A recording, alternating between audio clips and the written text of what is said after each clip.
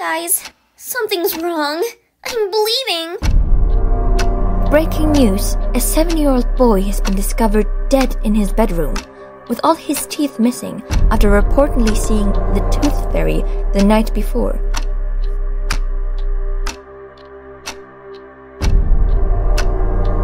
What? That's totally fake. You're just trying to scare me. Hey, Jasmine, by any chance did you forget to put your tooth under your pillow?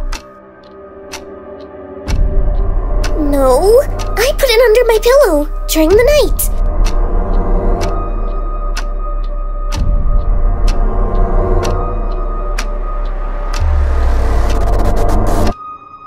Oh, what a shame.